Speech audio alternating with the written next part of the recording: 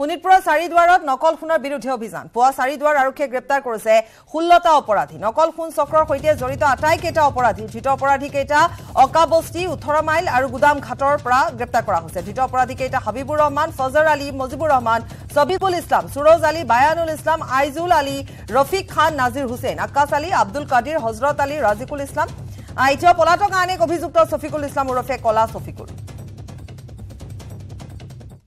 আমি এটা information share কৰিছিলোঁ যে যিসকলৰ পাছ হিষ্ট্ৰী আছে যিসকল আগতে ফেক গ'ল্ড বা এনেকুৱা ধৰণৰ ফ'ৰ টুৱেণ্টি কেছৰ লগত জড়িত আছিলে তেওঁলোকক এটা আমি সুযোগ দিছিলোঁ যাতে তেওঁলোকে আত্মসমৰ্পণ কৰি দিয়ে। আৰু একৰ্ডিংলি আমাৰ কালি ৰাতিৰ পৰা আজি ৰাতিপুৱালৈকে প্ৰায় ষোল্লজন মানুহে বিভিন্ন স্থানৰ পৰা আকালবস্তি গুদামঘাট ওঠৰ মাইল এৰিয়াৰ বিভিন্নজন বিভিন্ন ঠাইৰ মানুহে আত্মসমৰ্পণ কৰিছে। আজি তেওঁলোকক আমি জুডিচিয়েল কাষ্টডিলৈ পঠাইছোঁ। আৰু পৰৱৰ্তী সময়ত যি দুই এজন বাকী আছে যিসকলৰ পাছ হিষ্ট্ৰী আছিলে এতিয়া আছেনে নাই সেইটো ডাঙৰ কথা নহয়।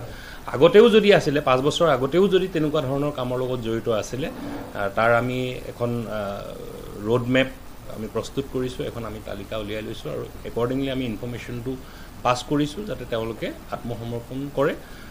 আৰু একৰ্ডিংলি তেওঁলোকেও ফ'ল' কৰিছে প্ৰায় ষোল্লজন মানুহে যিহেতু আত্মসমৰ্পণ কৰিছে। বাকী যি দুই এজন আছে তেওঁলোকেও অতি শীঘ্ৰে আত্মসমৰ্পণ কৰিব।